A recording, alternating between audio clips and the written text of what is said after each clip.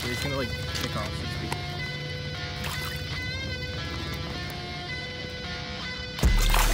speak. Ooh.